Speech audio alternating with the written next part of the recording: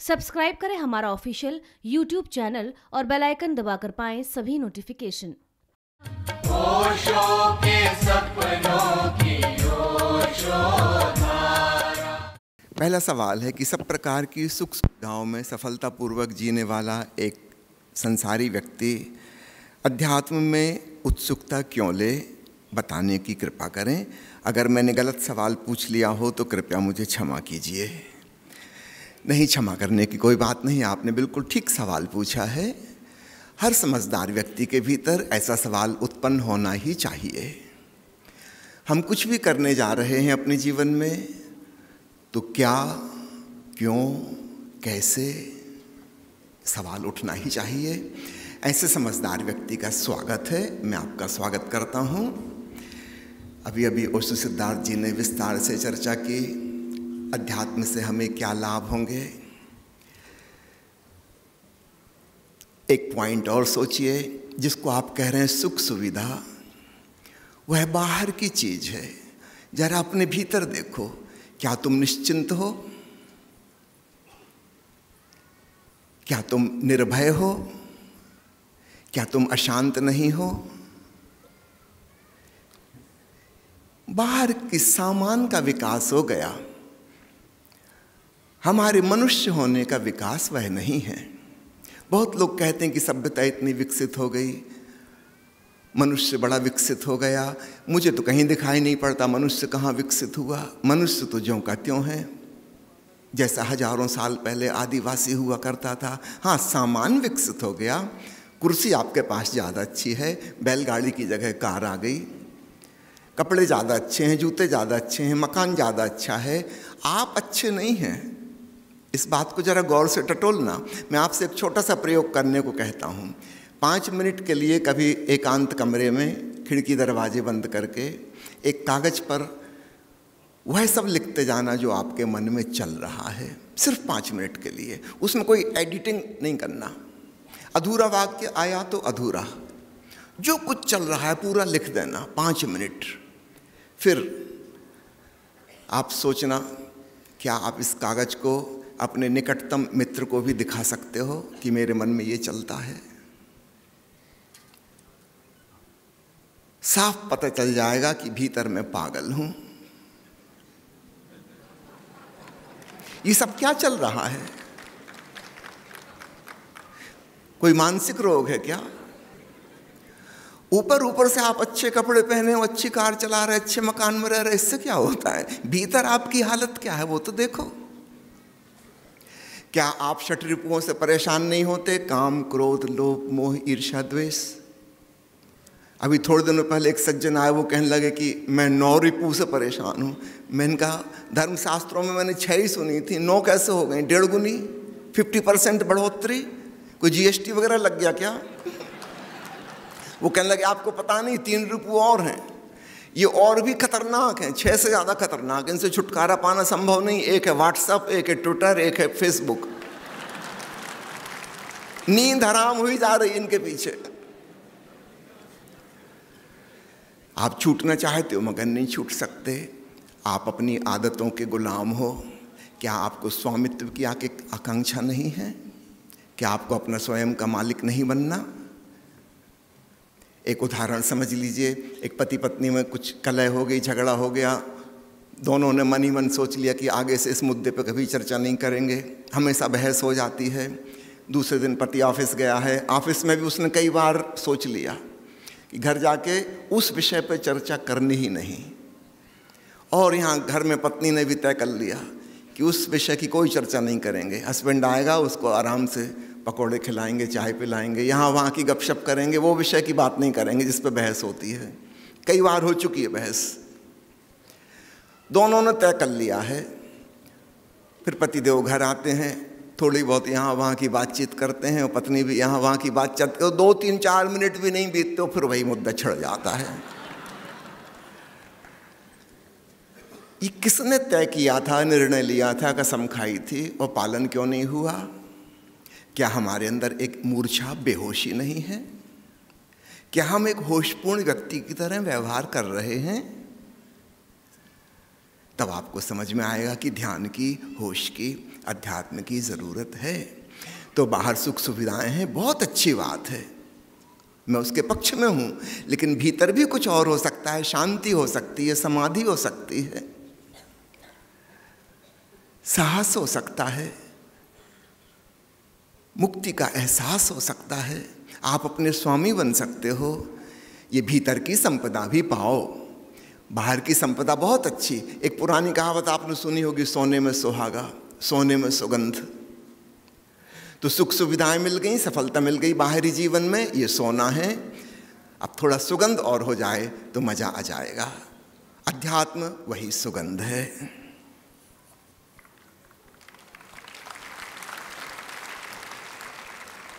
एक मित्र ने पूछा है, क्या ज़िंदगी में अध्यात्म ज़रूरी है? मिलता जुलता ही सवाल है। इन्होंने आगे लिखा है कि क्या पूजा पाठ, मंत्र जाप आदि से काम नहीं चलेगा? अगर काम चल रहा होता तो आपका चल ही चुका होता। पक्का है कि नहीं चलेगा? मैंने सुना है, एक अधेड़ उम्र की महिला पुलिस थाने पहुँची और थाना इंचार्ज से कहा कि मेरा पति गोभी लेने गया था बाज़ार एक हफ़्ता हो गए, अभी तक नहीं लौटा, क्या करूँ? थाना इंचार्ज ने कहा, अरे, कोई और सब्ज़ी बना लो, गोभी बनाना ज़रूरी है। आप पूछ रहे हो कि अध्यात्म ज़रूरी है? हाँ गोभी की जगह तो रिप्लेसमेंट हो सकता है, कुछ और हो सकता है, लेकिन मैं आपको बता दूँ, ध्यान की जगह, ये अन्य चीज़ें जो आप गिना रहे हैं, पूजा पाठ, मंत्र जाप आदि, ये काम नहीं करेंगे। हाँ आप उनको ऐसा कह सकते हो, जैसे अभी थोड़ी देर पहले उसे सिद्धार्थ जी ने बताया, के जी स्कूल की तरह समझो स्टार्टिंग पॉइंट लेकिन वहाँ पर शिक्षा प्रणाली का अंत नहीं हो जाता, बहुत आगे बढ़ना है। और मुख्य बात क्या है, हमारी मुख्य समस्या है हमारा बेहोश होना। भगवान बुद्ध एक दिन प्रवचन दे रहे थे, सामने ही एक बैठा व्यक्ति अपना पैर का अंगूठा हिला रहा था। बुद्ध गौर से उसकी तरफ़ देखने लगे। जैसे उसको पता चला कि बुद्ध मेरे पैर के अंगूठे की तरफ़ देख रहे हैं, वो रुक गया। बुद्ध फिर प्रवचन देने लगे। थोड़ी देर में फिर उसका अंगूठा हिलने लगा। फिर बुद्ध ने पूछा कि ये मामला क्या है? ये अंगूठा क्यों हिलता है? उस आदमी ने कहा, आप भी कहाँ की क्षुद्र बातों में पढ़ रहे हैं? आप अपने ब्रह्म ज्ञान की। प्रवचन को जारी रखिए। अंगूठे से क्या लेना देना? मैं जानबूझ के नहीं हिलाता, अपने आप हिल रहा है। बुद्ध ने कहा हद हो गई। तुमको पता नहीं और अंगूठा हिल रहा है। ये तो बड़ी बेहोशी की बात है। ऐसे आदमी का क्या भरोसा? कल तुम किसी का मर्डर कर दो और कहोगे, मैंने थोड़ी किया, हो गया। और वास्तव में दुनिया में ऐसा ही हो रहा है। कई हत्यारे हैं जो अदालत में कहते हैं कि हमने मर्डर नहीं किया। किया उन्होंने ही, पूरे प्रमाण हैं, लेकिन उनको पता नहीं, बेहोशी में कर दिया। आप अपनी ज़िंदगी में गौर से टटोलना कितने काम हैं जो आप बेहोशी में कर रहे हो। निश्चित रूप से ऐसा जीवन एक सुंदर जीवन तो नहीं हो सकता। तो जीवन में अध्यात्म की ज़रूरत है, जीवन को सुंदर बनाने के लिए, बेहतर बनाने के लिए, होशपूर्ण बनाने के लिए, विवेक से युक्त करने के लिए। ये जो रिप्लेसमेंट आप सोचते हो कि पूजा पाठ कर लें, ग्रंथ शास्त्र पढ़ लें, मंत्र जाप कर लें, इनसे शुरुआत हो सकती है समझदारी पूर्वक अगर आपको पता है कि ये केवल शुरुआत है। कठिनाई कहाँ हो जाती? हम उसी को दी एंड समझ लेते हैं। तब हमारे वो धार्मिक क्रियाकांड तथा कथित पूजा पाठ इत्यादि, वे भी हमारी बेहोशी बढ़ाने वाले ही साबित होते हैं। कोई खास फ़र्क नहीं पड़ता, आप फिल्मी गीत गुनगुनाओ, चाहे कोई मंत्र जाप करो। अगर आप उसको इस ढंग से कर रहे हो कि उससे बेहोशी और मूर्छा उत्पन्न होती है तो दोनों बराबर हो गए। मैंने सुना है, एक आदमी बहुत शराबी था और भूल जाता था, सब कुछ भूल जाता था शराब के नशे में। कई बार ऐसा हुआ कि चूँकि डगमगाते हुए वो आता था तो लाठी लेके चलता था। कई बार ऐसा हुआ कि घर आके उसने पलंग पे अपनी लाठी रख दी और खुद जाके कोने में खड़ा हो गया। इतना बेहोश। तो डॉक्टरों ने घर वालों ने उसके बहुत पीछे पड़े कि क्या तुम्हारा ज़िंदगी बर्बाद हुई जा रही है? शराब छोड़ो। उसने शराब छोड़ दी, भाँग खाना शुरू कर दी। रिप्लेसमेंट। और जानते हैं उसकी मृत्यु कैसे हुई? भाँग के नशे में पान खा के आया था। एक दिन उसने बिस्तर पे पान थूका और खुद खिड़की से बाहर कूद गया। हम अपनी मूर्छा वाली क्रियाकलापों को दूसरे मूर्छित क्रियाकलापों से बदल के कुछ खास परिवर्तन नहीं लगा सकते। मूर्छा उसमें भी है। जागना ही होगा। तो अध्यात्म का सार सूत्र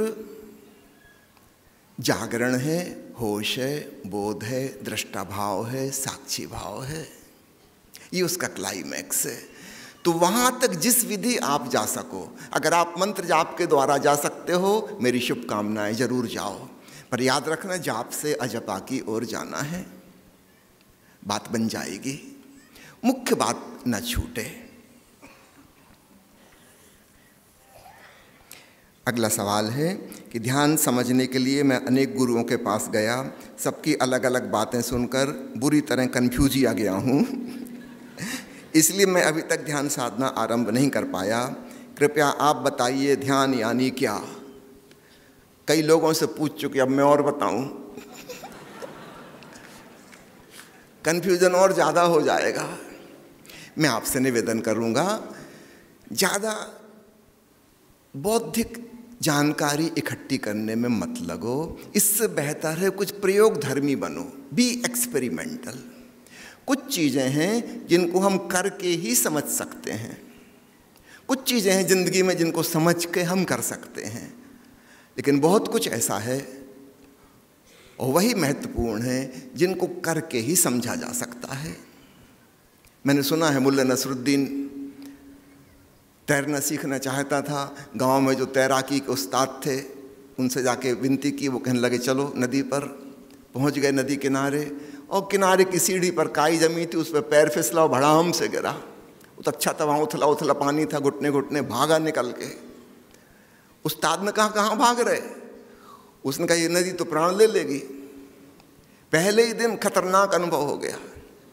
अब तो नदी में तभी आऊँगा जब अच्छे से तैरना सीख जाऊँ। अगर तैरना सीखोगे कहाँ? गद्दा तक यहाँ पर? कुछ चीज़ें वो करना ही पड़ती हैं। तो मैं आपको एक और नया सिद्धांत नहीं दूँगा कि गुरुओं के पास आप जा चुके हो। मैं आपसे कहूँगा, अब तो तुम कर, करना शुरू करो। कुछ चीज़ें करते करते करते धीरे धीरे, ठीक है, पहले बेतरतीब हाथ पैर फेंकेंगे, फिर थोड़ी सी कला आ जाएगी, फिर थोड़े और गहरे में जाएँगे। मैं आपसे नहीं कह रहा कि एकदम प्रशांत महासागर में छलांग मार के तैरना सीखो। उथले स्विमिंग पूल में, तालाब में, नदी में, ठीक वैसा ही ध्यान सीखना होगा। बहुत ज़्यादा बौद्धिक ऊहा पोहे में नहीं पड़ो अभी माँ ओशोप्रिया जी थोड़ी देर बाद ध्यान कराएँगी, आप करना। करते करते धीरे धीरे धीरे कुछ दिनों के भीतर बात बन जाएगी। अगला प्रश्न है, क्या आप मेरे हस्बैंड को सुधार सकते हो?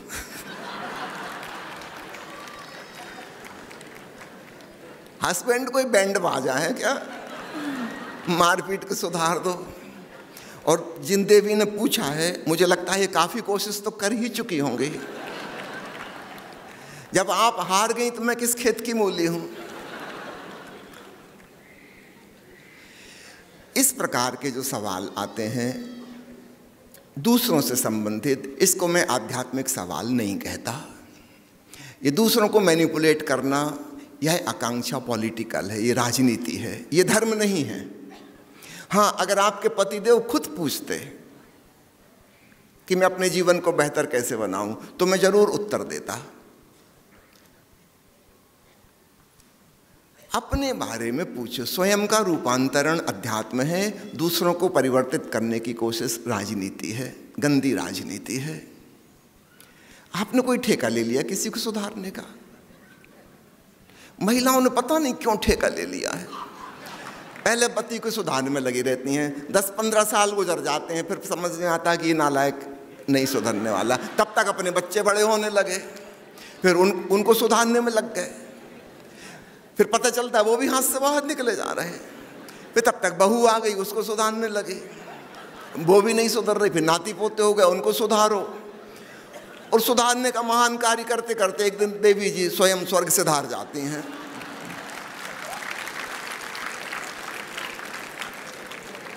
अगला सवाल है, जब ध्यान करते हैं, तब विचार और भी ज़्यादा आने लगते हैं, मुझे क्या करना चाहिए? इस बात को ज़रा समझना। शांत होने की कोशिश में और ज़्यादा अशांति क्यों हो जाती है? उसका कारण है, जब तुम कुछ और क्रियाकलाप में व्यस्त हो तो उस काम से संबंधित विचार आते हैं केवल। जब तुम कुछ नहीं कर रहे, फुर्सत में बैठे हो, शांत होने की, ध्यान की कोशिश में हो तो अब सब दिशाओं से विचार आएँगे। एक काम कर रहे थे तो उस काम से संबंधित विचार आते थे। अब सभी डायरेक्शन से विचार आएँगे। तो आरंभ में हर ध्यानी को इस मुसीबत से गुजरना पड़ता है। इसमें घबराने की बात नहीं, यह बिल्कुल स्वाभाविक है। रैंडम थॉट्स आने लगते हैं। अनर्गल अनामंत्रित विचार। सालों साल से, और जानने वाले कहते हैं, जन्मों जन्मों से भीतर हमारे भीतर दबा हुआ कचरा कूड़ा पड़ा है। अचानक वह सब प्रकट होने लगेगा। घबराना नहीं। थोड़ा धीरज रखना। जल्दी ही इसके पार हम उठ जाएँगे। इसके पार निकलने की विधियाँ हैं। सदगुरुशों के द्वारा बनाई गई रेचन वाली विधियाँ। जैसे जिब्रिश मेडिटेशन देववाणी ध्यान है डायनेमिक मेडिटेशन है मिस्टिक रोज मेडिटेशन है। आप मूर्थल में आइए, इनका प्रयोग कीजिए, और आप पाएँगे वो जो भीतर बड़ा विचारों का भंडार पड़ा था, अनावश्यक, वह सब हमने निकाल बाहर फेंका, और तब शांत होना, ध्यानस्थ होना बिल्कुल आसान हो जाता है। दूसरी बात यह ख्याल रखिए कि विचार मेरे नहीं हैं। जब आप पैदा हुए थे, आपको कोई भाषा नहीं आती थी, कोई शब्द नहीं आते थे, आपके कोई विचार नहीं थे। आपने संसार में आके ही भाषा सीखी, शब्द सीखे, विचार सीखे। ये आपके नहीं हैं। जैसे ही आप डिसआइडेंटिफाई होते हैं, ये मेरे नहीं हैं, अचानक उन विचारों को मिलने वाली शक्ति खत्म हो जाती है। ये करीब करीब ऐसे ही आपने कुछ, कोई विद्युत उपकरण का प्लग से लगाया तो वहाँ से इलेक्ट्रिसिटी आने लगी और वह उपकरण चलने लगा। यदि हम प्लग को निकाल दें, ये उपकरण बंद हो जाएगा। हमारे भीतर जो विचार चल रहे हैं, उसका प्लग क्या है, कहाँ से उसको ऊर्जा मिलती है, वो है आइडेंटिफिकेशन जैसे ही मुझे यह ख्याल आता है कि ये विचार मेरे नहीं हैं, ये मैंने कहीं से पढ़े हैं, सुने हैं, सीखे हैं ये मेरे नहीं हैं। अचानक आप अनप्लग हो गए और वो जो शक्ति विचारों को चलने वाली जा रही थी, वो जानी बंद हो गई। विचार बंद हो जाएँगे। तीसरी बात, याद रखिए विचार कहाँ उपयोगी हैं? वहाँ अवश्य उनका उपयोग करना। आप ऑफ़िस में काम कर रहे हो, कंप्यूटर चला रहे हो, फ़ाइल में कोई गुणा भाग जोड़ घटाना कर रहे हो, ज़रूर विचारों का काम है। ये ऐसे ही है जैसे तेज धूप निकली है और आप छाता लगा के गए। जूता मोजा पहन के आप सड़क पे जा रहे हो। फिर जब आप अपने घर आते हो विश्राम कक्ष में जाते हो तो आप जूता वगैरह बाहर हटा छोड़ देते हो छाता बाहर टिका देते हो टाई उतार देते हो रिलैक्स होकर आप अपने बिस्तर पे पड़े हो। अब कोई आपसे कहे कि, कि आप छाता विरोधी हो आप एंटी जूता संप्रदाय के हो नहीं, ऐसी कोई बात नहीं है। जहाँ ज़रूरत होगी, वहाँ हम जूता पहनेंगे। जहाँ ज़रूरत होगी, वहाँ छाता लगाएँगे। 24 घंटे लगा कर रखने की कोई ज़रूरत नहीं है। ठीक ऐसा ही समझो हमारा मन है। बहुत उपयोगी।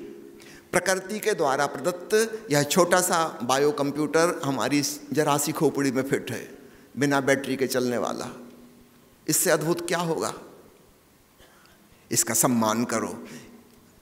विचार निश्चित रूप से उपयोगी हैं। संसार में जहाँ दूसरों से कम्युनिकेशन करना है, संवाद करना है, वहाँ शब्द और भाषा ज़रूरी हैं। हाँ जहाँ हम अपने एकांत में मौन में रम रहे हैं, वहाँ उनका कोई काम नहीं है। सो सिंपल तुम्हारी तरफ़ से तैयारी होनी चाहिए। तुम उन्मुख बनो, स्वयं से खाली बनो रिक्त बनो। जितने तुम रिक्त हो जाओगे, उतने ही पात्र हो जाओगे। वही पात्रता शिष्यत्व कहलाती है। और समझदार बनो। कुछ बातें हैं जो शब्दों में कही जाती हैं। कुछ बातें हैं जो बिना शब्द के भी पकड़ी जाती हैं। मैंने सुना, एक पत्नी अपने पति से कह रही थी, तुम इतने टेंशन में क्यों दिख रहे हो जी? तुम हमेशा परेशान परेशान रहते हो। मुझे बताओ ना, तुम्हारी ज़िंदगी की सबसे बड़ा टेंशन क्या है? What is your greatest problem अरे, कुछ बोलते क्यों नहीं? बस मेरी तरफ़ देखे ही जा रहे हो। अब बेचारा बता तो रहा है देख के कि सबसे बड़ी प्रॉब्लम क्या है? कुछ बातें बिना बोले भी समझ नहीं पड़ेंगी। मैंने सुना है एक आदमी ज्योतिषी के पास गया, जन्म कुंडली दिखाई, जोशी ने कहा वत्स प्रसन्न हो तेरी कुंडली में धन ही धन है, धन के अंबार लगे हैं। उस युवक ने कहा कि ये वाली बात मुझे पता है, पहले भी कई ज्योतिषियों को दिखा चुका महाराज, अब आपसे ये पूछने आया हूँ कि कुंडली वाला धन बैंक अकाउंट वाले धन में कैसे ट्रांसफ़र हो?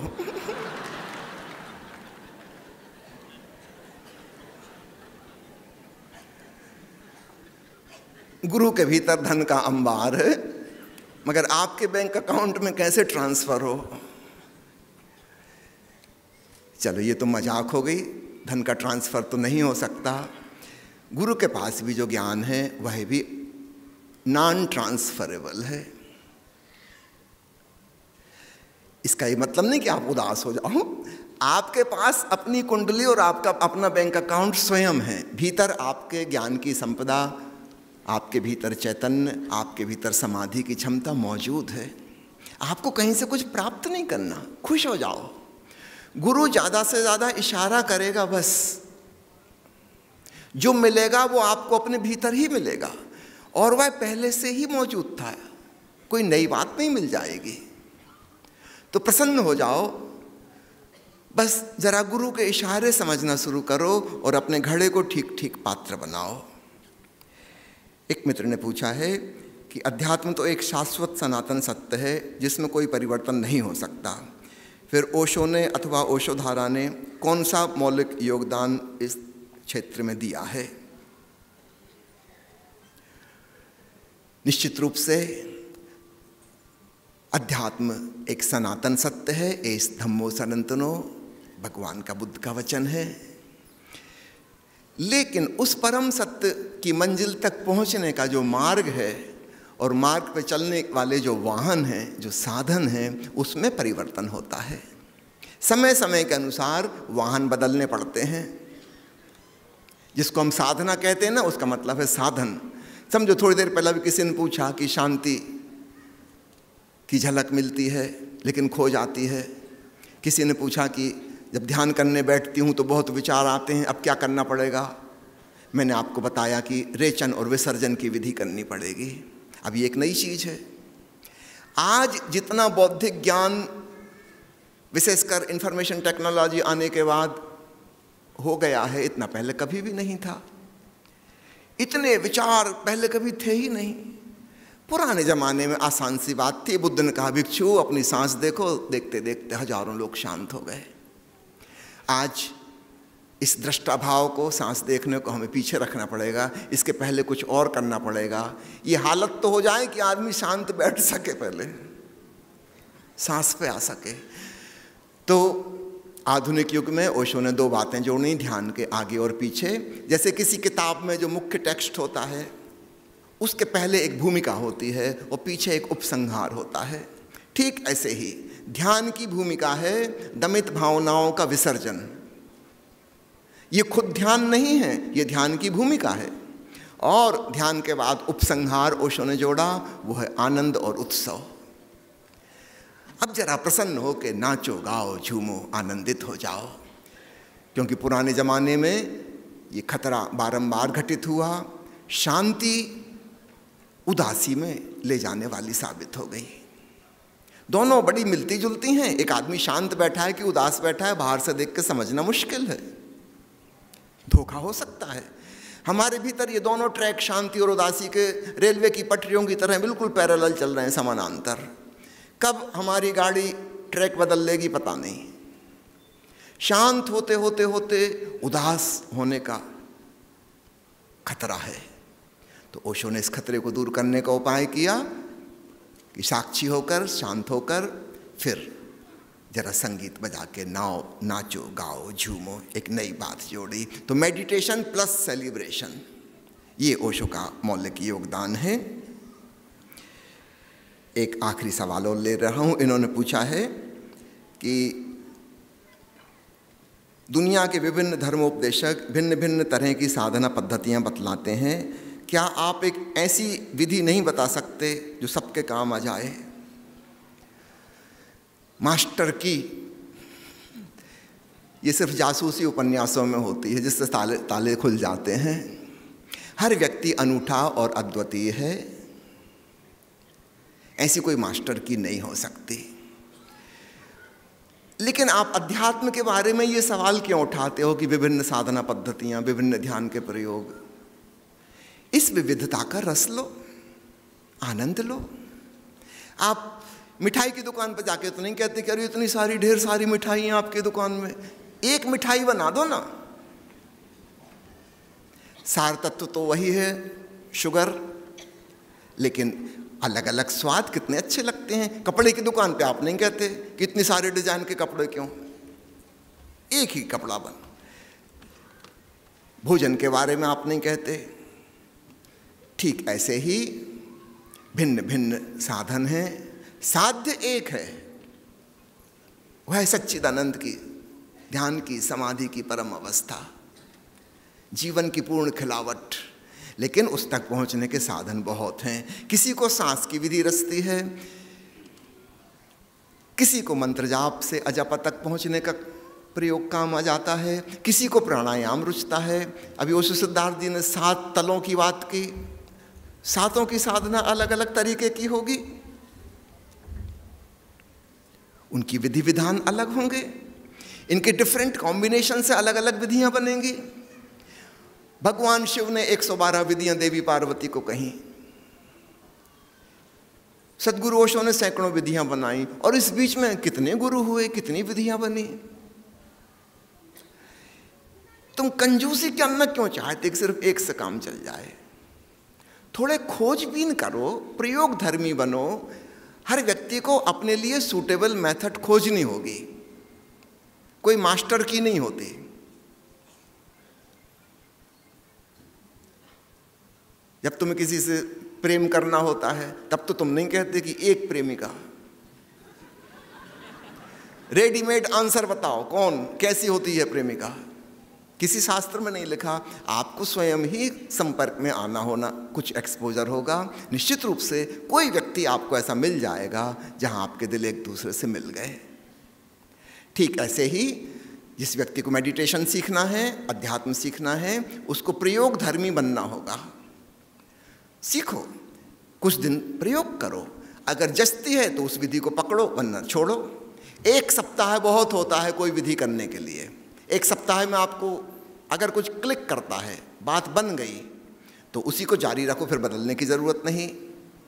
नहीं जम रही है तो छोड़ो। दूसरी विधि अपना के देखो, तीसरी देखो, चौथी देखो। इस विविधता का आनंद लो। किसी बगीचे में तुम जाओ, वहाँ सैकड़ों प्रकार के फल हैं और सैकड़ों प्रकार के फूल के पौधे हैं अलग अलग सुगंध के अलग अलग साइज़ के। तुम खुश होगे कि कितना सुंदर माली है। होना ही चाहिए विविधता वैरायटी तो अध्यात्म के बगीचे में क्यों ना विविधता हो? चलिए एक निवेदन और मेरे पास आया है कि माला दीक्षा के संबंध में कुछ कहें। हाँ ये इस प्रश्न से मिलती जुलती ही बात हो जाएगी। जब किसी विधि को करो तो उसमें संपूर्णता के साथ करो। यहाँ अभी प्रयोग करने के पश्चात माला दीक्षा होगी। यह माला दीक्षा एक डिटर्मिनेशन एक दृढ़ निश्चय भीतर पैदा करती है कि अब मुझे अध्यात्म के मार्ग पर चलना है। जो बात मुझे जच गई, मेरे विवेक को ठीक लगी, अब उसको जीवन में उतारना भी है। तो छोटी छोटी चीज़ें काम कर जाती हैं। जब आप अपने प्यारे सदगुरु की तस्वीर वाली माला पहन लेते हैं, वो एक रिमाइंडर हो जाता है फिर फिर याद आएगी। कुछ ऊँचा लक्ष्य हासिल करना है।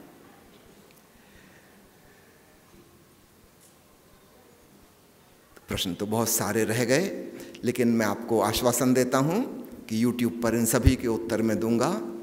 तो आप आने वाले समय में देख लीजिएगा। बहुत बहुत धन्यवाद आपने मेरी बातों को इतने प्रेम से सुना।